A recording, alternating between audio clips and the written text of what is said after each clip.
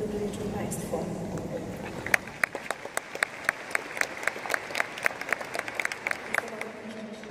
Być częścią tego pięknego wieczoru, tej uczty muzycznej. Jest to dla mnie wielki zaszczyt, że po raz drugi w moim życiu będę mogła zaśpiewać dla Państwa ten piękny utwór z filmu Pocahontas z oryginalną aranżacją. Ponieważ mamy międzynarodową publiczność, proszę pozwolić, że przywitam się również z nim.